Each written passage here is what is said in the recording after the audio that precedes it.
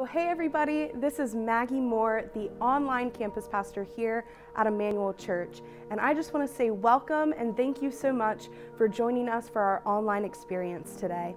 Our mission here at Emmanuel is to engage everyone everywhere. And one of the greatest ways that you can help us with that is by participating in the online chat today. We have eChurch volunteers who are ready to pray for you, ready to talk with you, and ready to connect with you and learn how we can best serve you during today's experience. Again, I just want to say thank you so much for joining us. We hope you have a great experience.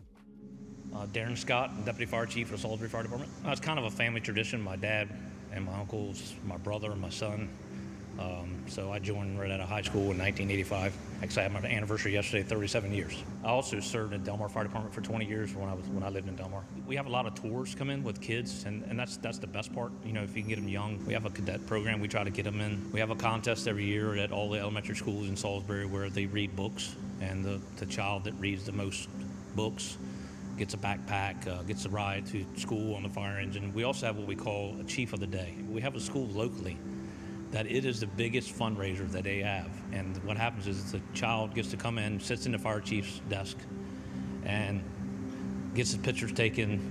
Then we take him or her to school, sirens and, and everything going. And uh, so it's it's amazing. We've been doing it now probably 10 years, and they tell us it's the biggest one. It's just hard to believe, but it happens. And uh, it's it's great when you can help someone who's at their worst. There, there's a lot of reward of that. Um, we have had people that have we've pulled from burning homes and have lived and have come back to thank us. Um, ambulances where they've done CPR on someone and we've saved them, and they come back and, and they come back and appreciate us, bring us donuts or lunch or whatever. I'll go to lunch sometimes and um, someone has picked up my tab, and you know it's very appreciative. Not necessary, but you know they're just showing that they care. It, it was really big after 9/11 very, very sketchy details reaching us here at Sky Centre. Right now, we're getting information, Al, that it was a small commuter plane. We believe that a plane has crashed into the World Trade Center. Doing the events of 9 11, I was actually working. We had just finished training, and um, our dispatcher had his TV on, and he says, Oh, my Lord, there's been a plane that's hit one of the towers. So, as we all of course, go running into his little room, which is not big enough for one person, much less four or five of us uh, we watched the second plane go into the second tower.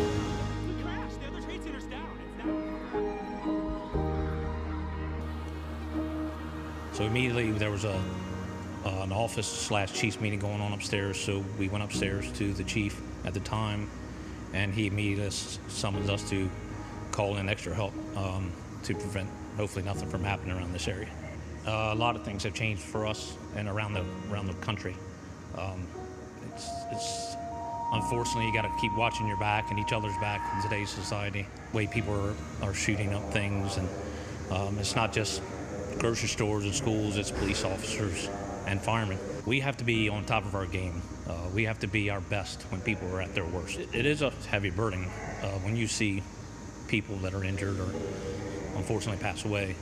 Um, we, we just actually had that last week with a fatal fire. So you'll you'll see us outside scenes. You know, we'll kid and carry on with one another. That's that's how we try to forget about what's happened, but you never forget about it. It's always in your mind. Um, you know, we have members that go to therapy um, on a weekly basis, and it's needed. Can't save everybody, unfortunately. You know, because God has a different plan for them. I, I wouldn't change what I've done over the last 37 years for nothing. When you when you wake up in the morning and want to come to work, that says a lot, and that's me. It's, I love it. I love this job. I wouldn't I wouldn't trade it for the world.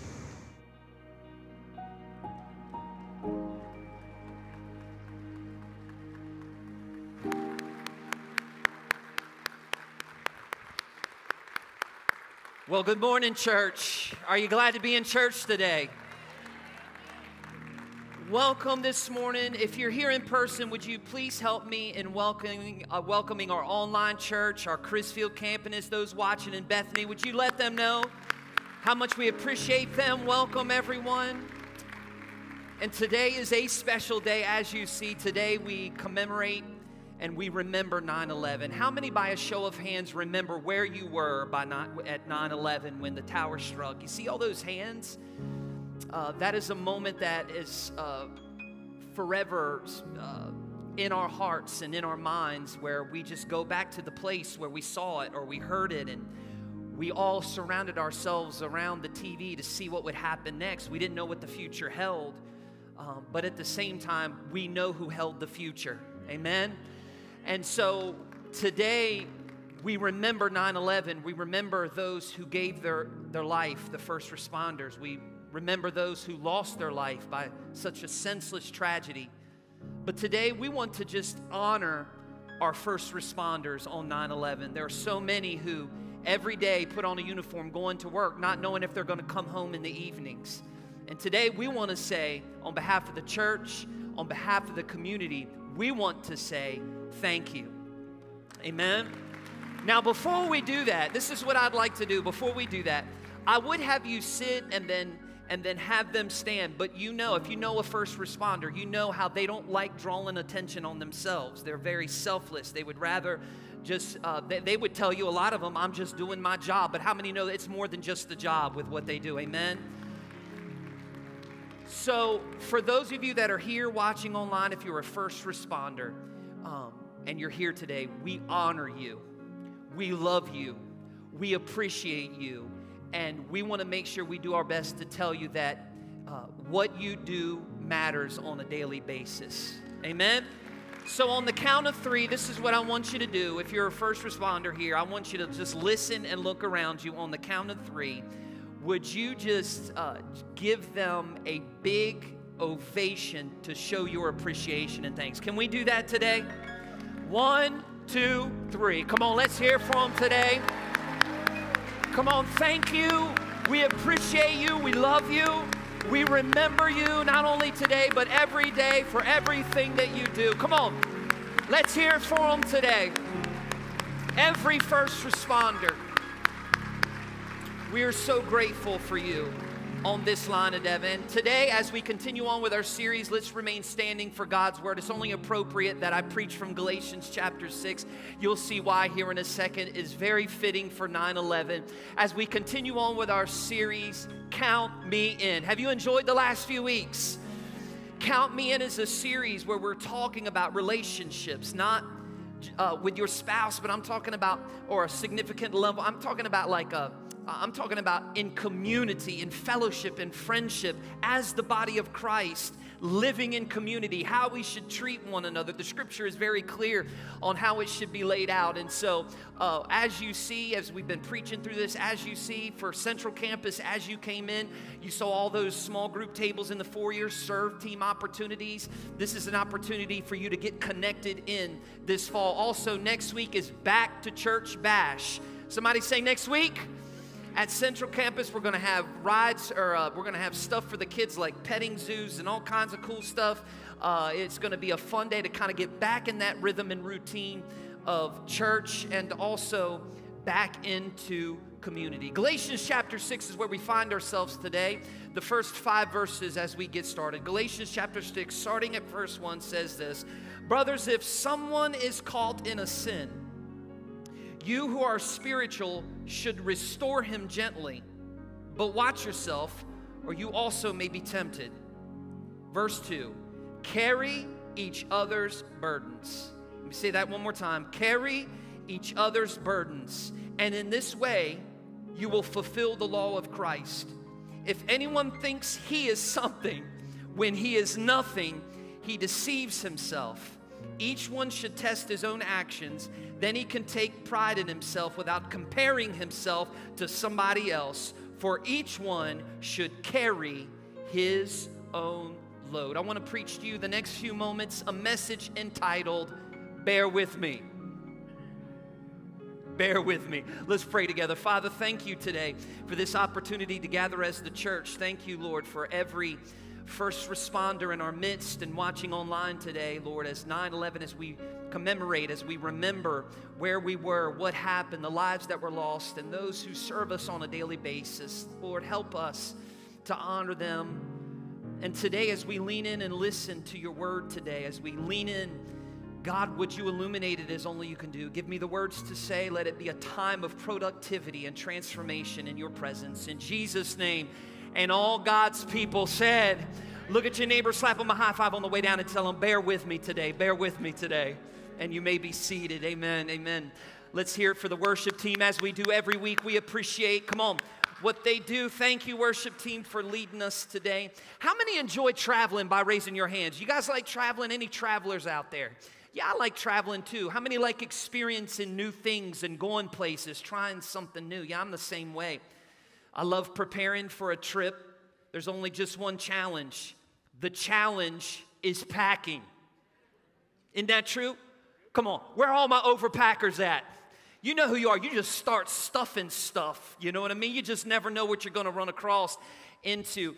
And uh, me, I don't pack that way. Weston, hand me that small one right there. Hand me that small one. Come on up here. Thanks, buddy. Uh, I pack a little bit different than that. I'm not an overpacker. I travel light. Ain't my light travelers? I don't pack, if I'm going on a three day trip, there ain't no sense in packing three pair of jeans. Let's be honest, people. A good pair of jeans start fitting just about day three.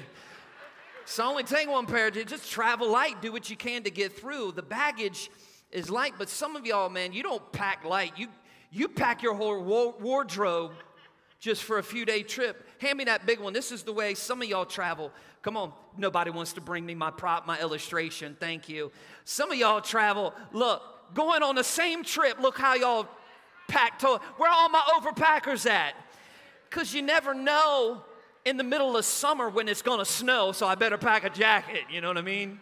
Some flannels, some socks, some, some thermal underwear. You never know how it's gonna be in Florida in August.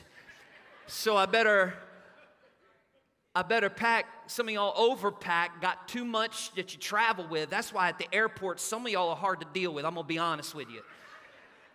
Because uh, when I go to the airport, I'm traveling light, y'all. I don't have a whole lot of baggage, but some of y'all come. I see some of y'all rolling your whole your whole wardrobe down, going and and and you, you go into the airport. Why is it that everybody is so unfriendly at the airport? Everybody looks mad, don't they?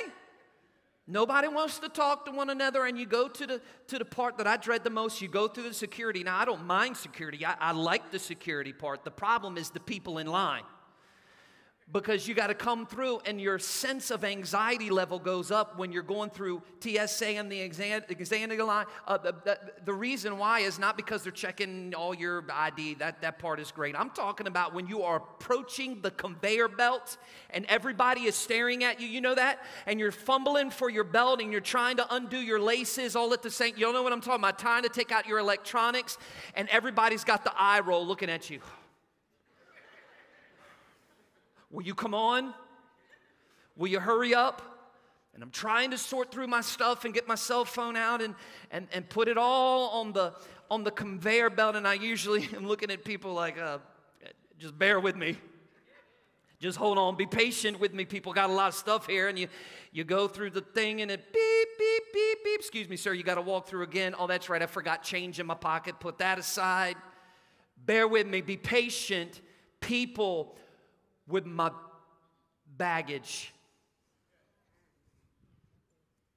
Now, the truth is today that as we travel through life, all of us at some point end up with some sort of baggage along the way. Now, now some of the baggage is small, some of it is big. It comes in all shapes or sizes, and we pick up our baggage and we gather it and store it and stuff it along life's way. Now, now, now, baggage comes from all different sources and all different places. Some of us picked up our baggage from some sort of childhood trauma or tragedy that we experienced in life, and now it has influenced the way we treat other people in relationships. Some of us, it's an emotional dysfunction that maybe was dealt to you by your family, or, or maybe it wasn't dealt to you by your family. Maybe you developed it yourself over time. Maybe, maybe your baggage came from a bad breakup back in college and you're still carrying it today. Maybe your baggage came from a devastating divorce that you went through and you experienced, and you'll never be the same. And it's heavy what you are carrying, the baggage in your life. Now, some of us have different types of baggage. Some of us are, are light. We don't carry a whole lot. And the reason why we don't have a lot of baggage is because we have learned to deal with it when we came to Christ and begin to conform to His Word and saw a good counselor. We're able to unload and our baggage is a whole lot lighter. But then there are others of us, ladies and gentlemen, who your baggage is not light, your baggage is a load. You have overpacked in life and you have been carrying uh, every stressor. You have been carrying every word that was ever said to you. You've been carrying some sort of offense for years unable to let it go, so you lug it around and it becomes a, a heavy load. So, no matter how much you have, all of us are carrying something, whether it's light or it's a heavy load. We all got baggage. So the question is not, do you have baggage? The question is, how much baggage are you carrying? It is not, are you crazy? Is what kind of crazy are you?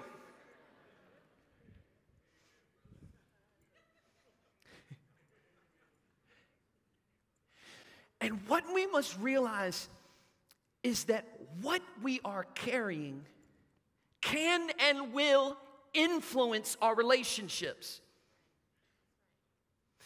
And we must be people that are extremely aware and realize the baggage we bring so we can respond to the people we encounter with what we are carrying. Hey, listen, bear with me. Be patient with me, people, because I got a lot of baggage I'm carrying along the way. This is so powerful for you to realize and understand the clarity of what you are carrying, because when you truly understand the baggage that you have and what you bring, it is imperative because that way, when you understand it, that way, others and the perspective of the Holy Spirit working in your life can begin to unpack the baggage that you have been carrying for so long. Here's what I'm saying we help each other out with the stuff that we are carrying. Are y'all hearing me today? This is the perspective I want you to see that Paul is writing about when we get to the book of Galatians. You see, when he is writing to the book of, uh, to, to the churches of Galatia, he is addressing a certain problem that has arose. And here is the problem. The problem is there was a certain sect within the church called the Judaizers. These people were an extreme faction within the church that always held to a high standard the religious uh, uh, Jewish law of the day, the, the, the, the codes, the conducts, the traditions that they carried. And what they began to do is circulate a false gospel among the Gentiles about their salvation. And what they told them is this that if you want to receive salvation, you not only have to believe in Jesus, but you also must also hold to the traditions and the teachings of the religious law, the Jewish law, and conduct of the day. And if you do not do both, then you do you are not saved. And this was a conflict within the church of the day between the Jews and the Gentiles who both loved Jesus. So as this conflict arises, Paul writes the church and he confronts the issue and he tells them this in the book of Galatians that all people, both Jews and Gentiles, are saved by grace through faith in Jesus alone. That you are now set free from sin and the religious law and the conduct code of the Jewish law of the day.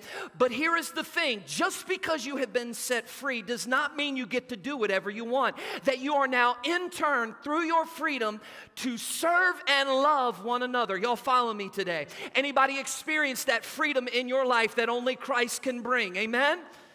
This is what Paul is getting at in his, in his, in his teaching. And then we get up to uh, chapter six, where Paul is beginning to bring it home. Chapter six, once you got the context, now I want you to see where Paul goes. He says this in verse one Brothers, if someone is caught in a sin, you who are spiritual should restore, restore, restore him gently.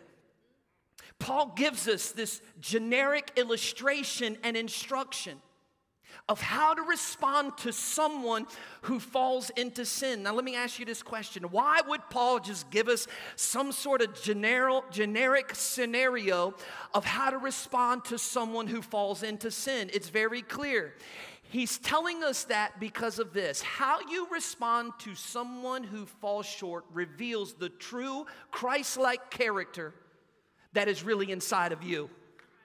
So, although we would see it as a general statement or a scenario, suppose you run into somebody's sins, no, no, no, there is a deeper level that I want you to show you here. Because when he writes it, it is not a general scenario. He is speaking of the Judaizers who often responded to people in a different way than Paul is telling them to do. Because when it comes to someone falling into sin, the Judaizers would respond with condemnation as if they were people who did not have sin in their life and they are immune to falling themselves. So Paul is setting the record straight. He says this Suppose you find yourself in a scenario where someone sins.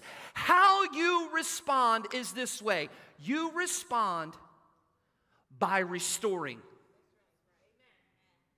Now, here's the good stuff. Y'all ready for the good stuff? That word restore, if you actually take that word restore and you study it, it is actually translated, the word restore, it is translated to mend or set back a broken bone. That's the first thing I want to talk to you about today. I want to talk to you about broken. Now, when we talk about broken bones, man, look no further than the Bunting household with five kids. We are all too familiar with broken bones. Matter of fact, as I preach right now, my son is on the front row with another, yet another broken collarbone twice in one year playing football. We're going through it now. But the worst was even worse than him, going through two broken collarbones in less than one year. The worst was my son Weston, who went probably through, through, the most traumatic experience of ever breaking a bone. Two years ago, he was about eight or nine years old, somewhere in that age, probably uh, just turned nine. And uh, he's out on the slide, and nobody will say what happened really. Somebody said, he was on, when he was on the slide, somebody said that he fell by himself. Others say, like him, he was pushed the culprit has still not yet been identified. Here we are two years later, but nonetheless, he is on a slide. He falls off, and my older son comes running in. Dad, Dad, Weston broke his arm. And I could hear Weston crying in the background. And so he comes in, and his arm looked like a U right in the middle of it. Y'all ever seen a broken arm before? And I'm like, mm, I can't. Oh. I can't do this. And Sarah goes into action all calm. It's going to be okay. And he's freaking out. Don't touch it. Don't touch it. Don't touch it. Don't mess with it. So we go to the emergency room, and God bless every nurse in the emergency room. I don't know how you do it. So we go in, and the nurses are trying to calm him down, and he's saying, Don't touch it. Don't touch it. Don't mess with it. And they said, We got to because we have to set the bone back in order for it to heal. They called the orthopedic and he, she came and she gave him some medicine. They reset his arm and put a splint on it. We go to orthopedic uh, doctor the following week, and as we come in, he's still screaming his head off in the office. Don't touch it, don't touch it, don't touch it, don't touch it. It hurts. And they're like, I'm not even doing anything yet. And they told him surgery was not needed. It's going to sit back. So, so his arm was fine. We go by. Six months go by, people. He is out on a swing, not a slide. He jumps off the swing. His arms get caught up. He tries to brace himself as he falls. Same arm. Broken again, but it does not look like a U. It looks like a folded up accordion. I mean, it's like, I mean, just like a check mark. It was like, oh, I can't do this again. And he says, It happened again. I fell again. I fell again. Go right back to the emergency room. Don't touch it. Don't touch it. Don't touch it. Don't touch it. Don't touch it. We got it this time when the, the orthopedics came. They said, We cannot set it back. We got to have surgery.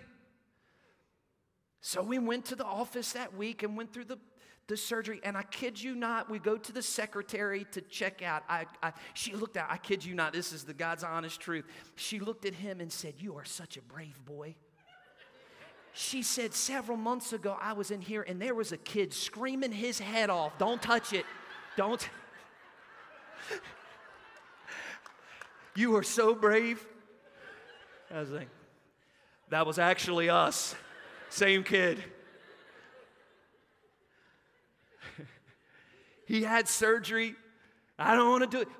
And the doctor says, I have to do this to set your arm back so it can heal properly, so it can be used again. Here is the truth today. The truth is today, I don't care how long you have lived for the Lord or how long you have served Him, none of us is immune to or exempt from falling into sin. And whenever you fall into sin, that's when things begin to break. Because the consequences of sin is always broken. Broken relationships, broken marriages, broken self esteem, broken emotions, broken, broken spirits. The deliberate disobedience because of sin always has devastating effects, and the effects are being broken.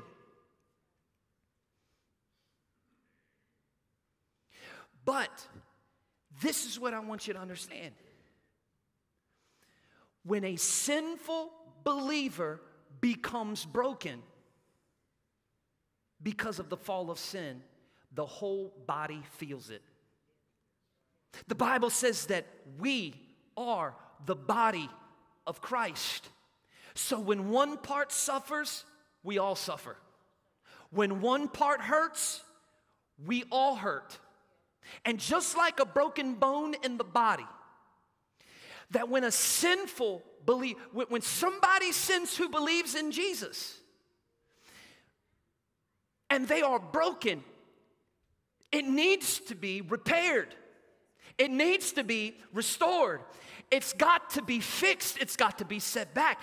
This is the response to us as a body of believers that when someone falls in the body and is broken, we are here to help.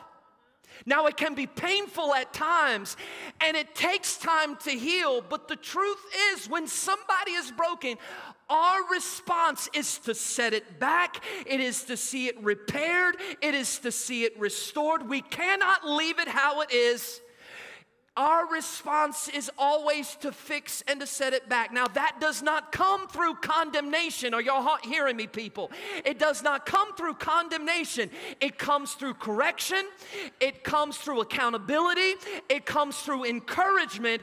And over time, in time, what has been broken can be made whole again, it can be used again because the body gathers around the thing that is hurt, that is fallen, that is broken, and restores and repairs it right back to its rightful place again. Are y'all hearing me today? And then Paul continues on.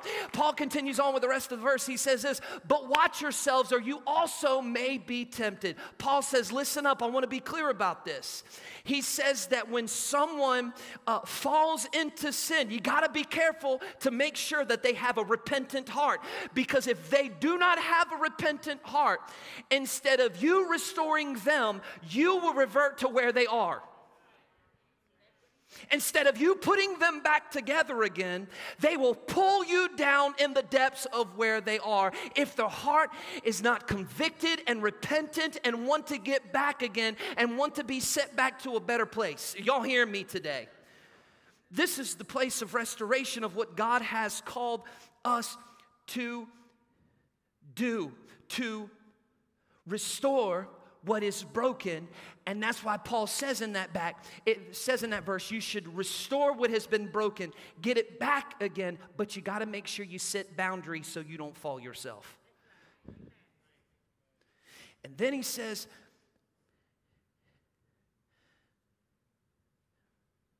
Before we move on, I want to hit that one more time. To restore what is broken by setting boundaries. But let's be honest though, can we today? Because of our baggage, some of us often respond to people the way the Judaizers did. We're just like the Judaizers in many, in many ways. Because sometimes we try to make ourselves look better by making them look worse. If I make them look bad, I'll make myself look good.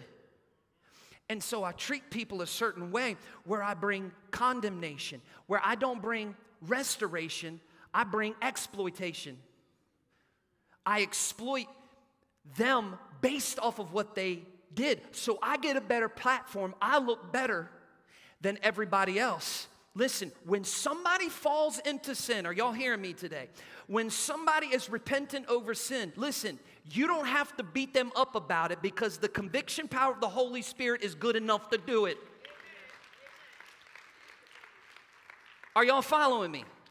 God has called us, are you ready? God has called us to be a splint, not a splinter to be something that is helpful to restore people and make them whole again, not someone who continues to dig in because it makes you feel better about yourself. That's what the Judaizers did. Did you know in John chapter 8, they brought condemnation upon a woman who got caught in the act of adultery. She got caught in sin. And you know what their response is? Condemnation to look down on her enough to drag her out in front of Jesus because the religious law said she should be stoned to death. But did you notice Jesus' response? He did not respond to her with the same condemnation that they brought. He responds totally different. Jesus looked at them and said, if you've got no sin, then go ahead and cast the first stone. And Jesus bent down in the ground and wrote something. Many theories are that Jesus was writing their own sins that nobody else knew about in the dirt. And one by one, they dropped the rock and they walked away. Jesus is saying that we all have the opportunity to fall into sin. We're not here to break each other down. We're here to build each other back up and to restore one another. That's what the body of Christ is all about. 1 Thessalonians chapter 5 verse 11 says this, therefore encourage one another and build each other up just as if, as if you are doing. That is what God has called us to do. But then my favorite part of the verse, when he continues on, the favorite part of this section of scripture happens in verse 2. He says this He says, Carry each other's burdens, and in this way you will fulfill the law of Christ. Now, I love what the King James Version says. It says in verse 2 Bear ye one another's burdens, and so fulfill the law of Christ. We are called to carry each other's burdens or bear with one another's burdens. That's the second thing. I want to talk to you about the burden. Now, you may not see it on the surface today by what you see in front of you. But if you could get beneath the surface of people, you would see some of y'all in this room and watching online, you're carrying some heavy burdens. And by burden, I mean weight. By burden, I mean pressure. By burden, I mean problem or situation or difficulty that just sits on the inside of you. And if you would be truthful today, you, you would admit that some of y'all are carrying some heavy stuff that you're facing. Some of you are, you're burdened today. You're burdened today by a kid who is strung out on drugs. And every time the phone rings, you don't know what's going to be on the other end and it become a, a burden to you. It's a weight, it's a pressure. because you don't know how it's going to turn out. For others of you, you are carrying a, bur- a, heavy burden of a, um, an uncertain financial future. The paycheck comes in and it goes right back out again. You've paid the bills, but you don't know how you're going to make it next month.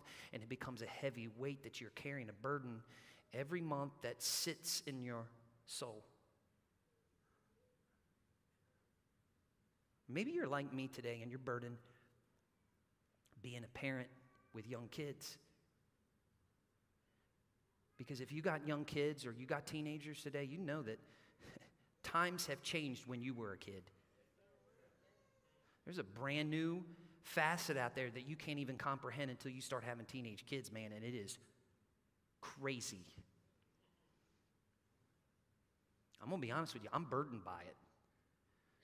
I trust my kids, I love my kids, I teach my kids. My kids ain't the problem, it's the other kids that they come in contact with that create influences that could create a path in life that you never taught them, but yet they follow others' leads, and it can be heavy, a burdensome. Maybe, maybe some of you, you're burdened by a, by a spouse that has created distance and you don't know what's going on, and it's heavy inside of you. This burden you are carrying can be so heavy at times, you almost feel like you're about ready to collapse. So heavy and so burdensome, you feel like you're going to bend and you're going to break. Because I don't know how I can take much more with what's heavy. And what Paul is communicating is at the core of a Christ like community is this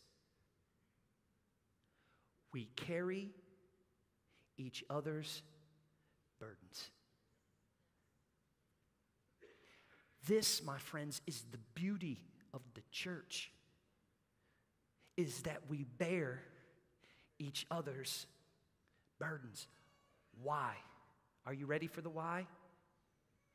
Because it is too heavy to carry yourself.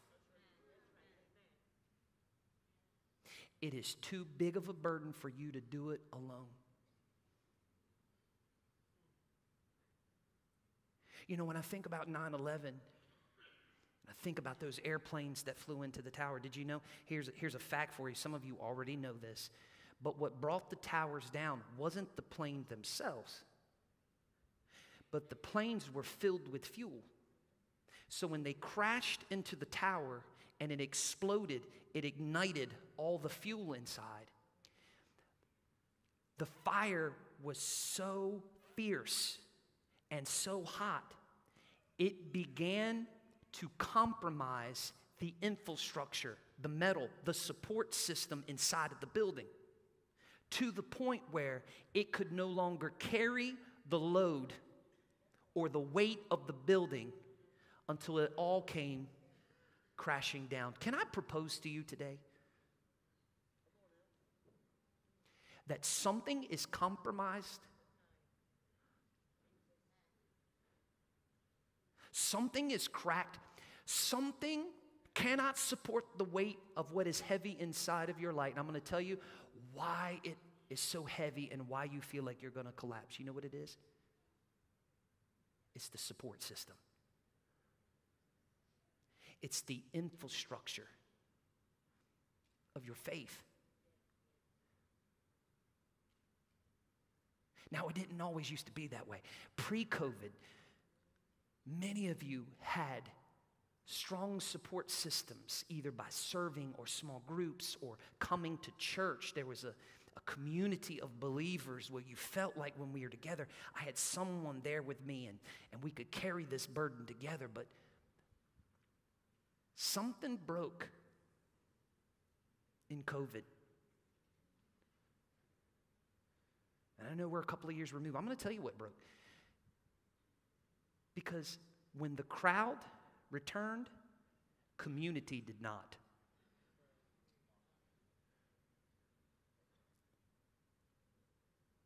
And now more than ever, we are inconsistent, even with coming to church. Whereas before, we wouldn't miss a whole lot. But now it's like, eh, I'll catch it on the treadmill.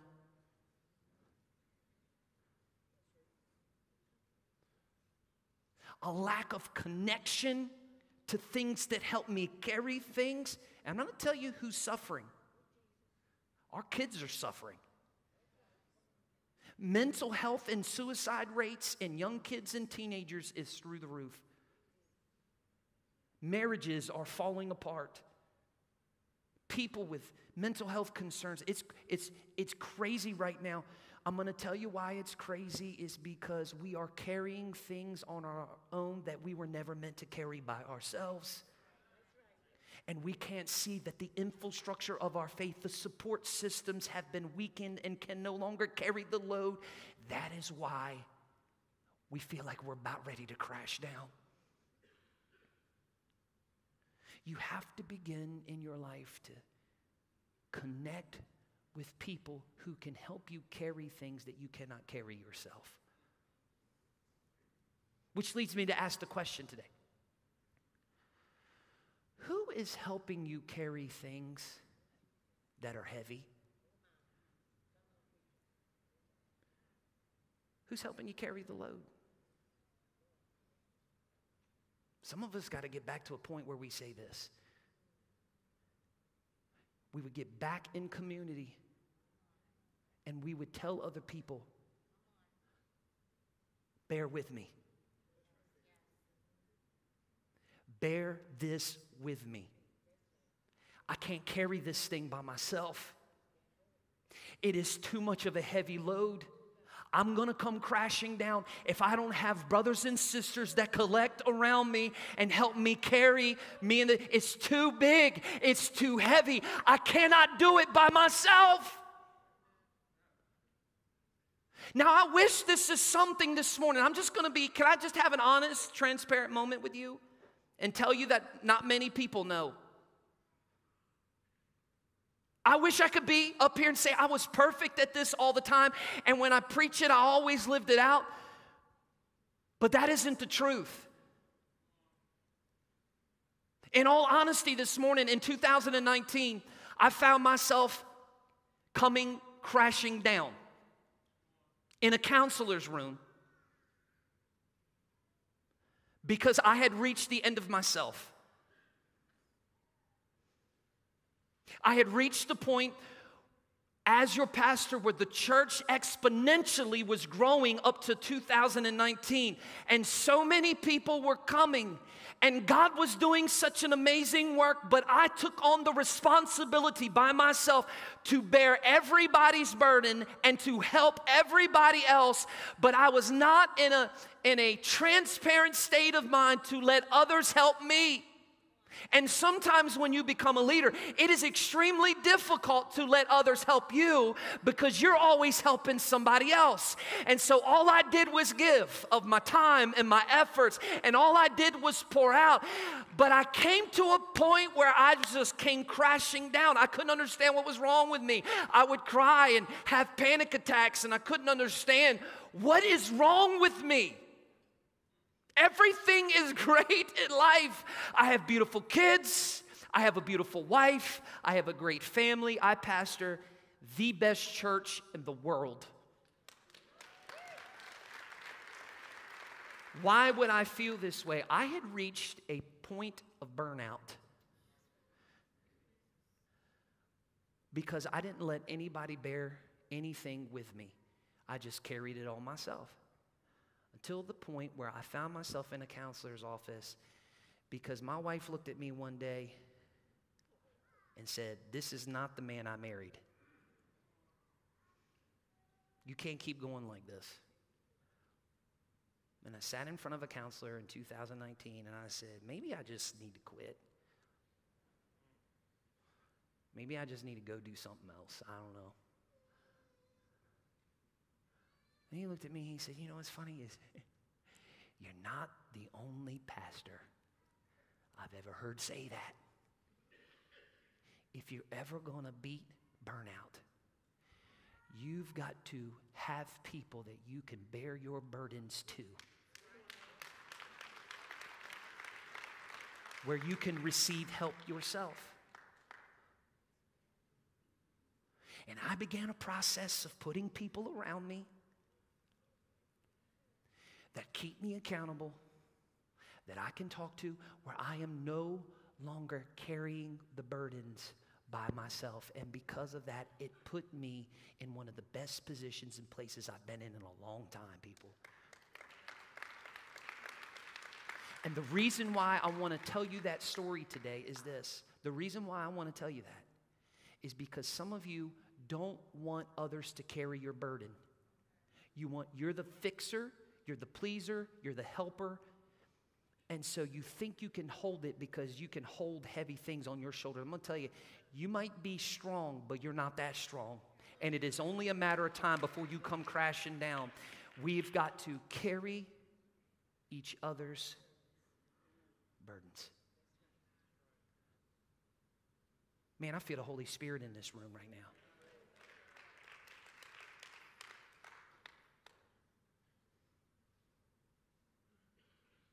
And Paul begins to finish. Man, I wish I had time to keep going. But Paul finishes in verse 5. He says this in verse 5. In verse 5. Go to verse 5. Skip verse 3 and go to verse 5. Keep going. Keep going. There we go. For each one should carry his own load. Now, wait a second there. This is confusing. There seems to be a contradiction, isn't it? Verse 2, he says, carry each other's burdens. Then verse 5, he says, carry your own loads. Seems like a contradiction, but it's not because of the Greek translations of the words. Carry each other's burdens, translated means weight or pressure. Carry your own load is translated, watch this, a soldier's pack. Now, I don't know if you've been in the military at all, but here's one thing I do know, even though I've never been in the military, I guarantee you when you're on a long hike or a march and you don't feel like carrying your pack anymore, you can't place it on someone else and let them carry the load the rest of the way. Is that true? I don't know, right? Why? Your brothers and sisters around you will help you, but you have a personal responsibility to carry what is your obligation. That's the last thing I want to give you before we leave here. I want to talk to you about the obligation. We are called to bear one another, bear our burdens with one another. But at the same time, you have a personal responsibility to carry a load that's been put on you.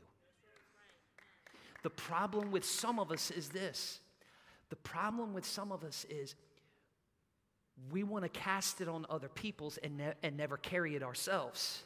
We want to put that weight and that burden on others so we don't have to feel it at all. But there is a personal obligation and a pressure that you've got to carry in your life. Jesus said, Pick up your cross, take up your cross, and follow me daily. So we bear one another's burdens, but at the same time, I have an obligation to carry what God has put on me or what life has put on me. That when I'm going through this life, I have people to rely on but I also have a responsibility to walk this thing out. If you believe that word today, would you stand to your feet?